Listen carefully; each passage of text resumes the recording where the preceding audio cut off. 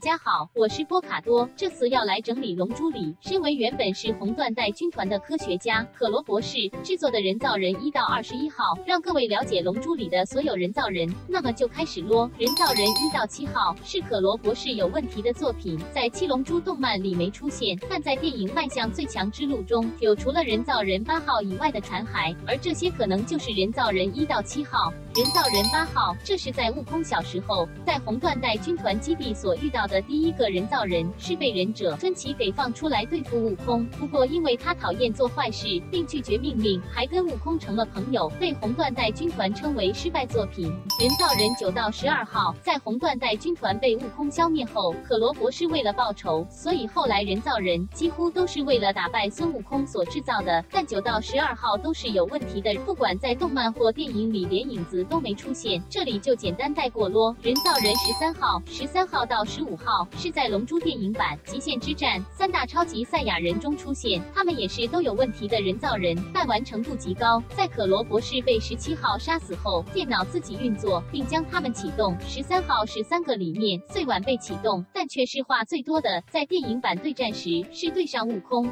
超级十三号是人造人十三号吸收了十四号跟十五号的晶片和零件，变成。蓝色皮肤的人造人，而他也给了悟空史上最痛的一击，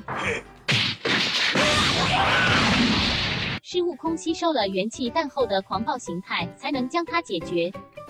人造人十四号跟十三号一样，在电影版出现，绑着辫子，是个没什么话的家伙。后来是被特南克斯砍爆。人造人十五号同样在电影版出现，也是没什么话的人造人，戴着帽子，身形较矮，还戴墨镜，被达尔一拳打断脑袋后爆炸鸡鸡。人造人十六号在鸟山明老师的访谈中有提到，十六号是可罗博士以儿子为原型创造出来的，是纯机械制造而成，有很高的战力，是个非常安静、喜欢大自然的人。造人，但却被可罗博士称为失败作品。在赛鲁篇时，他最后是被赛鲁踩爆脑袋，但这也成为悟饭变成超二的契机。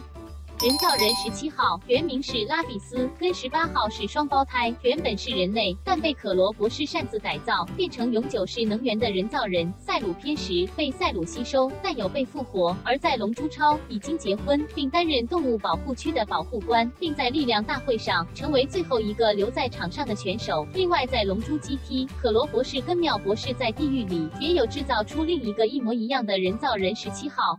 超级十七号是在龙珠 GT 里出现，是地狱的十七号跟人间的十七号合体而成的，较壮，战斗力高，还会吸收气功。但最后在十八号的帮助下，被悟空龙泉家龟派气功给解决。但说实在，个人没有很喜欢超级十七号的设定，我反而比较喜欢在龙珠超力量大会上一直助攻，成为 MVP 的十七号，感觉比较有个性，还帅气多了。人造人十八号原名拉兹利，跟十七号是双胞胎，原本也是人类，被可罗博士擅自改造后变成永久式能源的人造人。在赛鲁篇后跟克林结婚，并有个女儿，她可是龙珠里面的女神呢。人造人十九号吸收能量型的人造人，手掌上拥有吸收能量的装置，长得胖胖矮矮的，很像金正恩。最后是被超赛达尔打爆。